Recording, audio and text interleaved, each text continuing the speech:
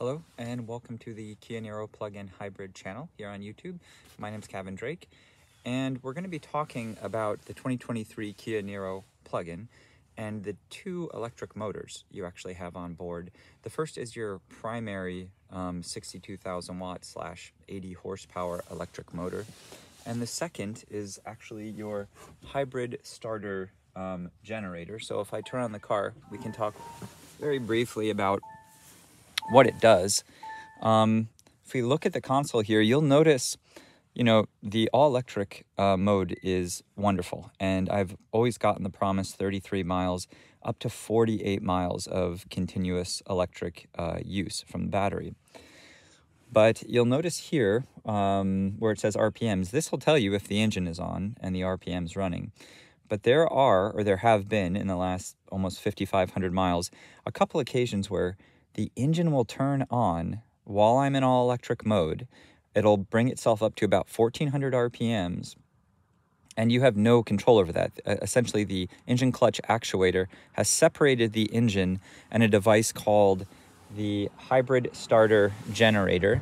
So I'll pop the hood here and we'll take a look. This is really a key component um, in the drivetrain because um, like we talked about in a previous video, you have it in sport mode, I'll just turn off the car actually. When you have the car in sport mode, that hybrid starter generator can put out up to 8,000 watts of continuous power.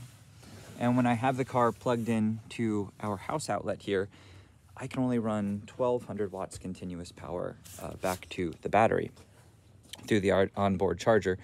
So I've know I know I've I've talked about this component before. It has a belt. Uh, it's a high voltage, water cooled. Um, it's called a permanent magnet synchronous motor. So it has um, an AC stator. So the the magnets go around the rotor, and um, and then the DC power is in the rotor. Um, so the large 80 horsepower, 62 um, thousand watt motor is also considered um, a permanent magnet synchronous motor. So it's similar in this way.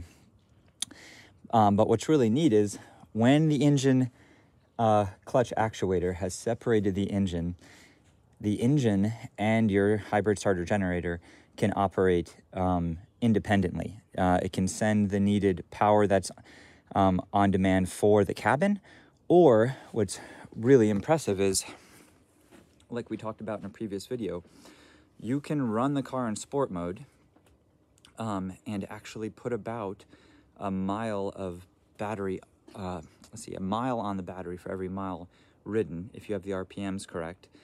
Um, and um, I find that actually um, really useful. But really this video is just so you're not surprised if you see your engine turn on. Uh, let's say if all the heat's, you know, if you want all the heat on for all the seats and you have your climate controls turned up, you may find that your engine turns on to produce more power uh, for the cabin or for uh, the battery. Another important thing, and I'll link in the description um, to, to a video, there's a great channel on uh, hybrid systems and solutions. Uh, and there's a wonderful guy there who breaks one of these down. it's the same hybrid starter generator you find in a Hyundai Ioniq, I think it is, but he breaks it down and one of the O-rings that seals the uh, water-cooled jacket. Um, so if you see here, this is the water lines moving in and out, and there's a jacket around the motor that pulls heat out because all these high voltage systems produce a lot of waste heat that needs to be dealt with through so that water there, that blue solution. I believe that's a non-conductive um, coolant solution, but the point is, when you do your coolant changes, if you take this on yourself, you really need to use um, really high quality um, water coolant because it interacts with those rubber O-rings um, that seal the, the water jacket away from um, the AC stator, the inner, inner parts of the hybrid starter generator. So anyway, just a quick talk about what that does and how useful it is um, in the car.